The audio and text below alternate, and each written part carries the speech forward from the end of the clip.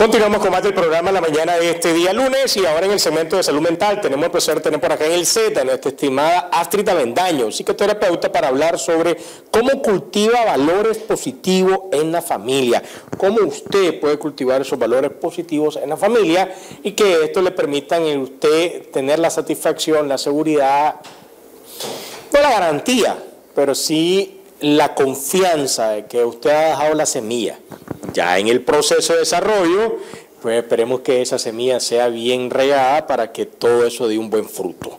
Mi estimada Astrid, buenos días, bienvenida. Teníamos rato, ¿verdad? Buenos días, ya bastante rato de estar aquí con ustedes compartiendo estos importantes temas de salud, de familiar, social, temas de salud mental y creo que es importante hablar de la familia el día de hoy.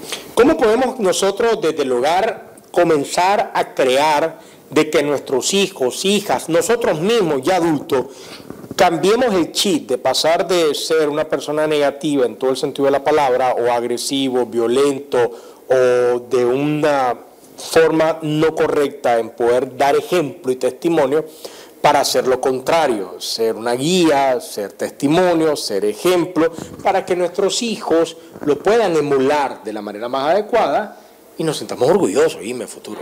Por favor. Claro, formar una familia no es nada fácil.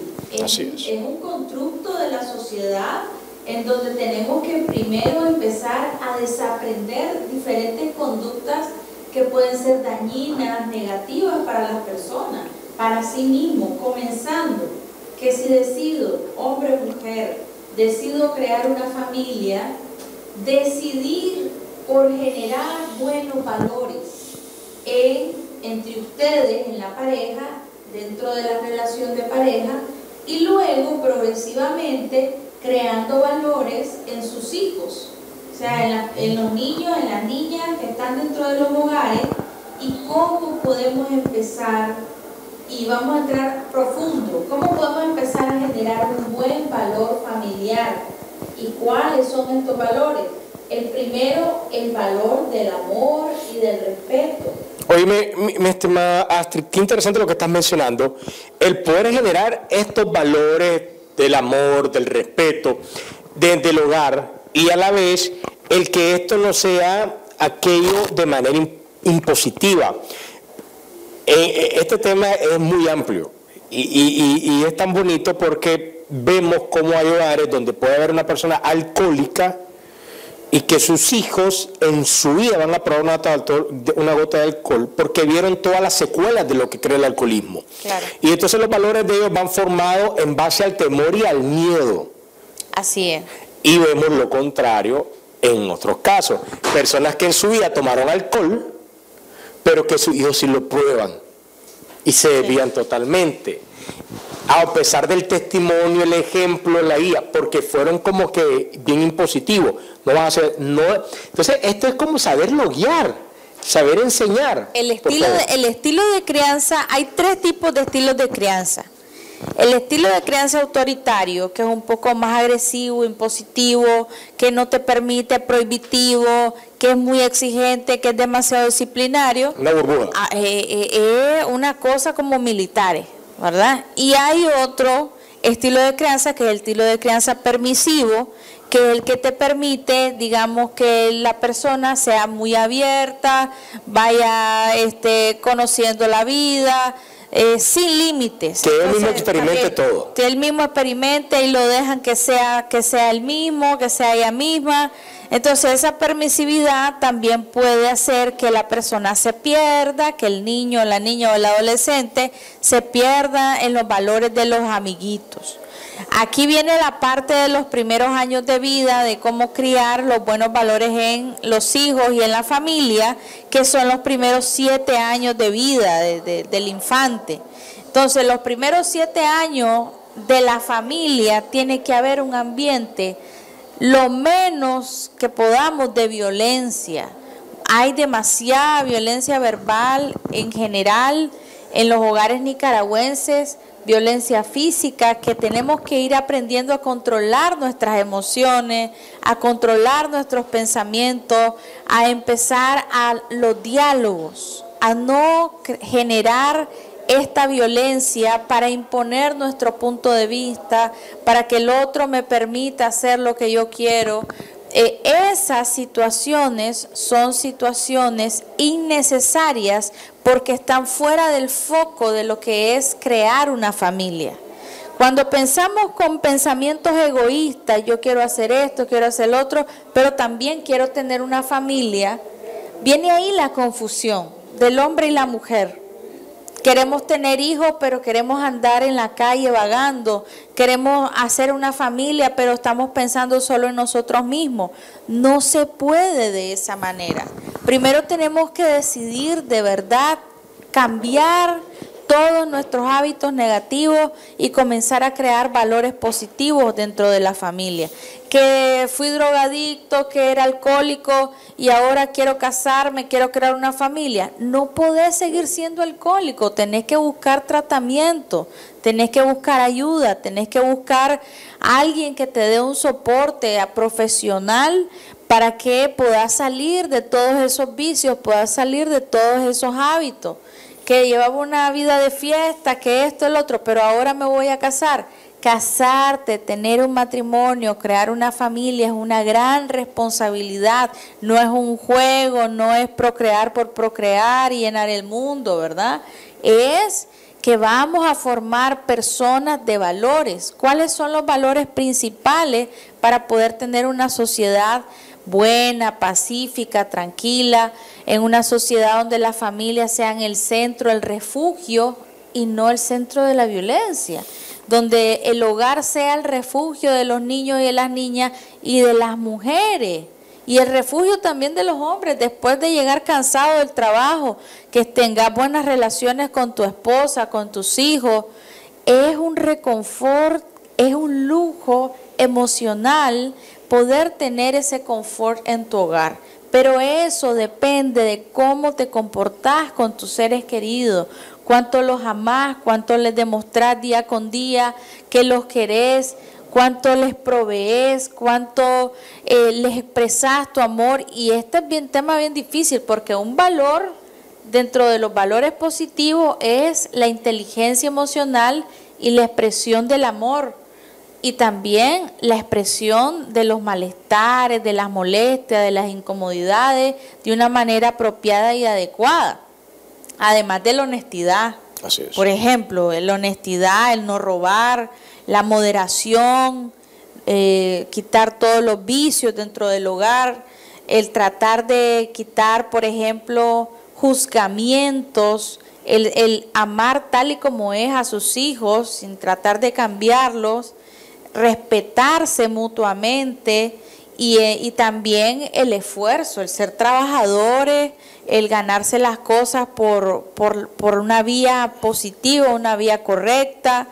Eh, todos estos valores hacen que las familias y los hogares nicaragüenses vayamos creciendo y enfocándonos no en los problemas, enfocándonos en un avance y un crecimiento tratando de salir de esa burbuja de solo pensar que la vida es problema.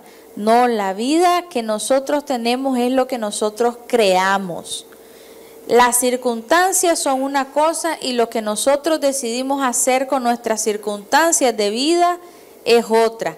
Crear una familia es decidir crear las circunstancias propicias para seguir alimentando a nuestra sociedad de qué? ¿De qué queremos seguir alimentando a la sociedad? Ya no más delincuencia, ya no más robos, ya no más asesinatos.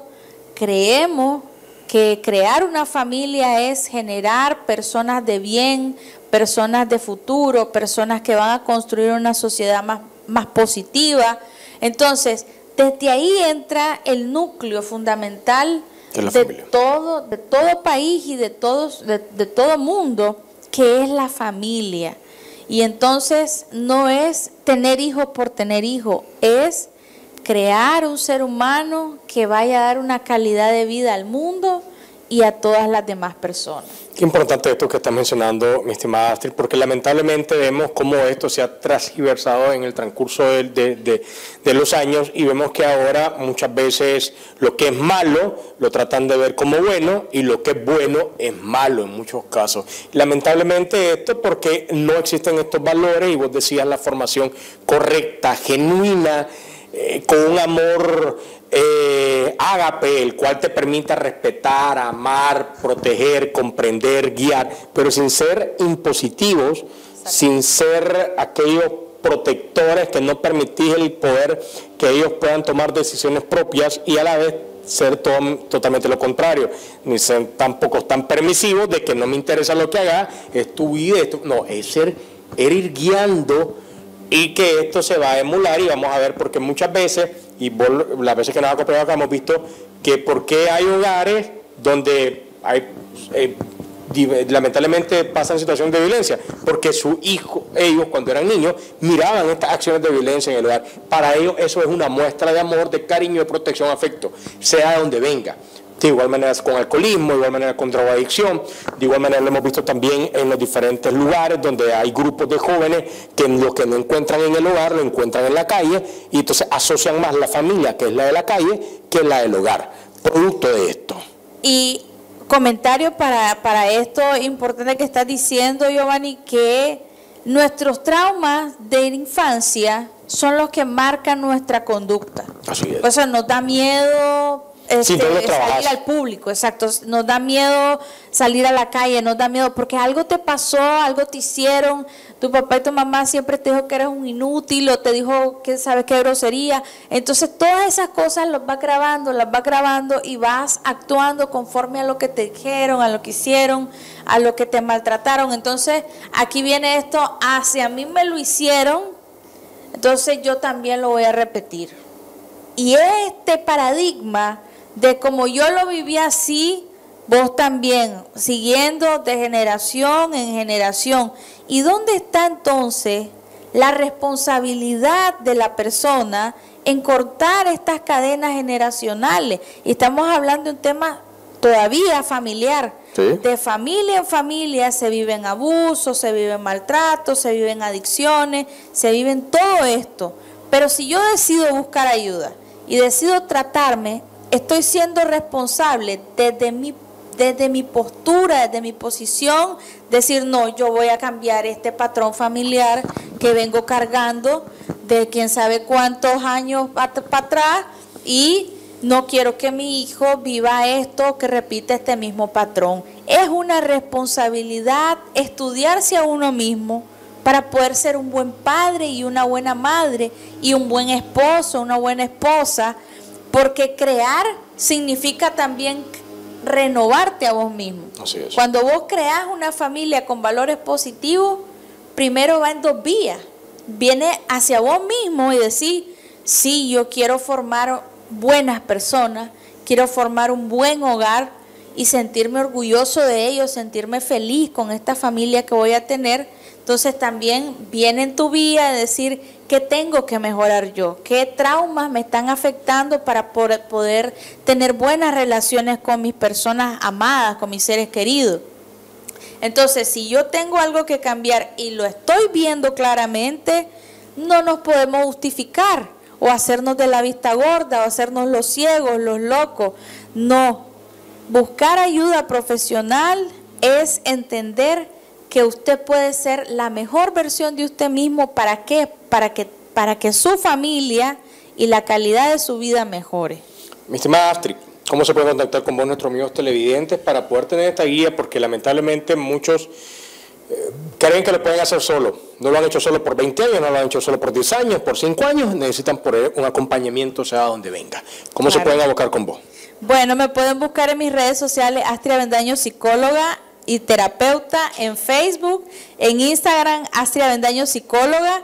Escríbame al 5809-3547 con mi asistente al 7726-7137. Hacemos consultas, ¿verdad? Tenemos paquetes, promociones, Eh, estamos de lunes a sábado a toda hora, así que escríbanos y los esperamos. Muchísimas gracias, Astrid. Gracias por acompañarnos esta mañana y traer de este tema que es muy importante para todos nuestros hogares y amigos televidentes. Nos vamos a una pausa y continuamos con más luego. Ya volvemos.